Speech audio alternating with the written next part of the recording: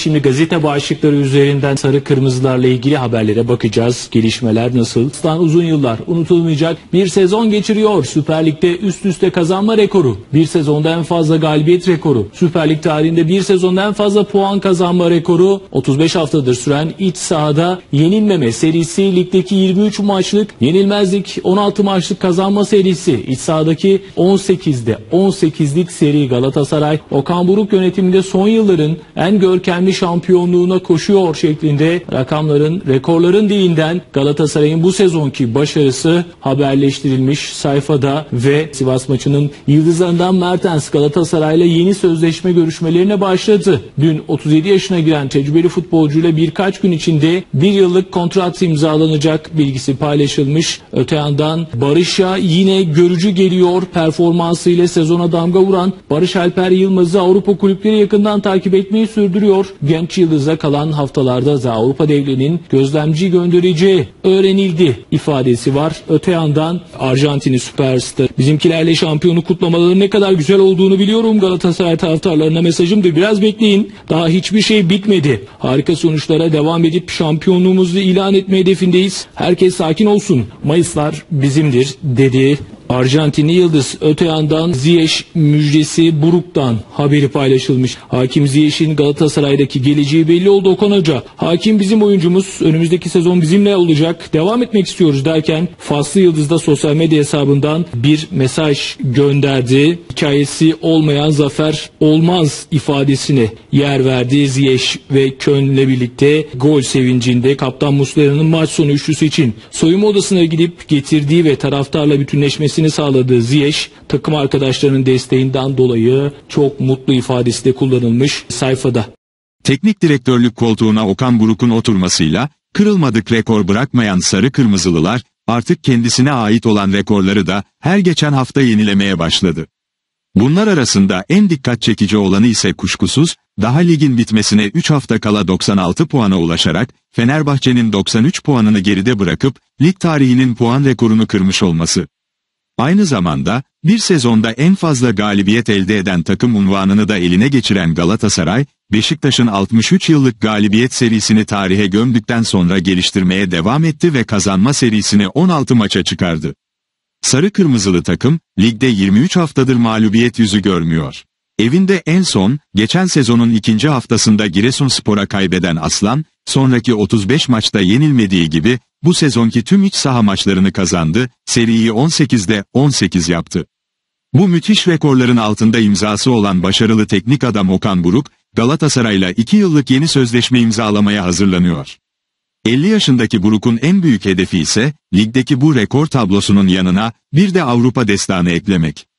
Galatasaray yönetimi yaz transfer döneminde, mevcut kadrosundaki zayıf halkaları elden çıkarıp, nokta atışı yıldız transferler yaparak, gücüne, güç katmak ve Şampiyonlar Ligi'nde iddiasını ortaya koymak istiyor. Süper Lig'de bitime 3 hafta kala, şampiyonluk yolunda çok büyük bir avantaj yakalayan Galatasaray'da, taraftarlar şampiyonluk şarkılarına başlarken, maddi anlamda da, kulübe önemli ölçüde destek olmaya devam ediyor. Cimbom, yenilemeye sunduğu kombinelerde rekor ilgiyle karşılaştı. Şu ana kadar 33 bin kart sahibi, kombinesini yeniledi. Loca ve VIP koltukla birlikte, 40 bin barajını geçen Galatasaray, kapalı gişe Rams Park'ta, sınırlı sayıda bilet satışı gerçekleştiriyor. Sarı Kırmızılılar, önümüzdeki sezonunda, kombine ve localardan 2,5 milyar Türk lirasından fazla gelir öngörüyor. Öte yandan Aslan, gelecek sezon forma satışından da, ciddi bir geliri kasasına koyacak. Önümüzdeki sezon 1 milyon forma satmayı hedefleyen Galatasaray'ın kasasına girmesi beklenen rakam, 50 milyon euro. Galatasaray, önümüzdeki hafta Fatih Karagümrük'e konuk olacak. Atatürk Olimpiyat Stadında, saat 19'da oynanacak karşılaşmada Fatih Karagümrük yönetimi, sezonun ikinci yarısında Fenerbahçe ile aynı statta yapılan maçta uyguladığı gibi, deplasman takımına %30'luk bir tribün açacak. Sarı Kırmızılılar, Atatürk Olimpiyat Stadında 23 binden fazla taraftarıyla, rakibi karşısında 3 puan alarak, 24. şampiyonluğunu kutlamaya başlayacak. 37. haftada Rams Park'ta oynanacak Galatasaray, Fenerbahçe derbisine, İl Spor Güvenlik Kurulu, 2400 sarı lacivertli taraftarın alınmasına karar verdi. Galatasaray bu karşılaşmada, şampiyonluğunu resmen ilan etmesi bekleniyor. Sarı Kırmızılılar, Sivas Spor mücadelesinden 6 birlik skorla ayrılırken yeni bir rekora da imza attı. Galatasaray, 1988-1989 sezonunda 93 puan toplayan Fenerbahçe'nin, bir sezonda en fazla puan toplama rekorunu da kırmış oldu. Aslan ayrıca, Süper Lig'deki yenilmezlik serisini 23 maça yükseltirken, sahasında üst üste 35. karşılaşmada da kaybetmedi. Sarı Kırmızılılar da, bu mücadelenin ardından takımdaki ayrılacak isimlerle ilgili sıcak gelişmeler yaşanıyor.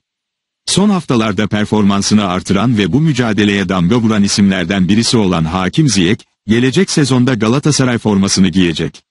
Aslan'da gösterdiği performansla, pek çok takımın transfer listesinde yer alan Barış Alper Yılmaz'ın ise, astronomik bir rakama transfer olması bekleniyor. Sivas spor maçının kadrosunda yer almayan Sergio Oliveira ile de yollar ayrılacak. Sarı Kırmızılılar da, sezon başında büyük umutlarla kadroya katılan Wilfried Zaha, formsuz durumuyla hayal kırıklığı haline geldi. Fil dişili oyuncu ile yolların ayrılması gündemde. Bu sezon 35 karşılaşmada görev yapan Zaha, toplamda 10 gol atıp 5 asist yapsa da performansıyla büyük eleştiri topladı. Beşiktaş derbisinde sakat olduğu gerekçesiyle kadroya dahil edilmeyen ve performansıyla eleştiri toplayan tecrübeli Yıldız'ın yeni adresi netlik kazanmaya başladı. İngiliz basınına göre, Everton, West Ham United, Fulham ve Wolverhampton, Wilfried Zaha'yı kadrosuna katmak istiyor. Haberde, West Ham United ve Aston Villa'nın Ocak ayında Zaha'yı kadrosuna katmak için girişimlerde bulunduğu, fakat anlaşmanın sağlanamadığı yazıldı. Ayrıca haberde, bu ilginin, 31 yaşındaki oyuncunun Premier Lig'deki geçmişi düşünüldüğünde sürpriz değil. Zaha, Crystal Palace'da geçirdiği 9 yılda, 90 gol ve 76 asistlik performans sergiledi denildi. Bu durumda Zaha için harekete geçecek birkaç İngiliz kulübünün, yaz aylarında Galatasaray'a resmi teklif yapılabileceği iddia edildi. 6 birlik Sivas spor maçının ardından, sarı kırmızılı taraftarlar şampiyonluk şarkıları söylemeye başladı. Öte yandan Galatasaray yönetimi de, gelecek sezonda tüm kulvarlarda mücadele etmek için, iddialı bir kadro kurmak istiyor. Bu kapsamda Aslan, transfer listesine birçok yıldız futbolcuyu aldı. Bu oyunculardan biri de, Arsenal forması giyen Thomas Partey. Galatasaray'ın sezon başında istediği, ama çeşitli nedenlerle kadrosuna katamadığı Ganalı Yıldız'ı, tekrar istediği belirtildi. Partey'in kulübü ile olan sözleşmesi 2025 yılında sona erecek. Bu nedenle Sarı Kırmızılılar, transferi makul bir ücretle bitirmeyi planlıyor. Ayrıca Ganalı futbolcunun, Arsenal'de çeşitli sebepler dolayısıyla istediği süreyi alamaması nedeniyle, takımdan ayrılmak istediği öğrenildi. Partey'in güncel piyasa değeri 20 milyon euro. Bu sezon 14 maçta sahaya çıkan tecrübeli oyuncu skor katkısı üretemedi. Süper Lig'de son 4 haftaya girilirken, Sivas Spor karşılaşmasına iki ayrı nedenden dolayı büyük önem veriyor. Aslan, sezonun ilk yarısında puan kaybettiği takımlara karşı, aldığı başarılı sonuçları devam ettirmek istiyor.